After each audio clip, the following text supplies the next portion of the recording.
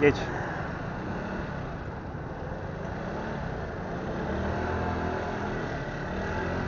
Bunlar turizmciler turistleri taşımak için zamanla yarışıyorlar. Bizim zaman sorunumuz olmadığı için onlara biraz anlayış gösterebiliriz. Hak bizden yana olsa bile hizmet ve gelir göz önüne koyduğumuz zaman onlara biraz daha saygılı olabiliriz. Ve ben bunu elimden geldiği kadar yapıyorum.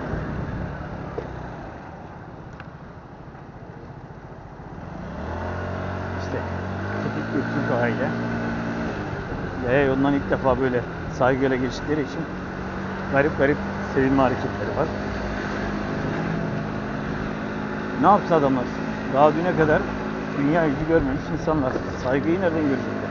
Şimdi böyle bir durumda saygıyı görünce e, afalamalar da gayet normal arkadaşlar.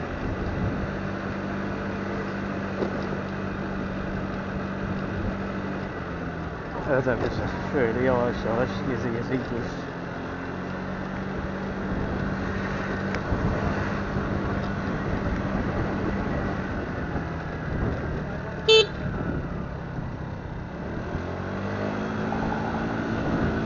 İşte yaya yolunu yanlış kullanan tipik bir.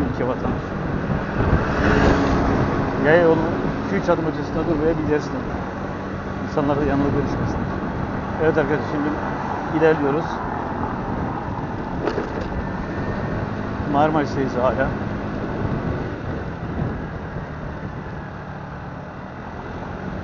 Şimdi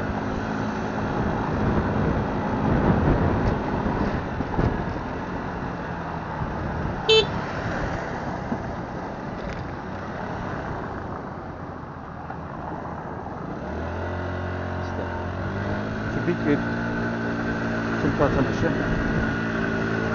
yaya yolun 3 adım ötesinde oradan gitmek yerine ısrarla yaya yolunun 3 adım gerisine gitmeyi tercih ediyor. İşte bunu bu arkadaşlar da eee saygısızlığı saygıyla geçirmek isterler.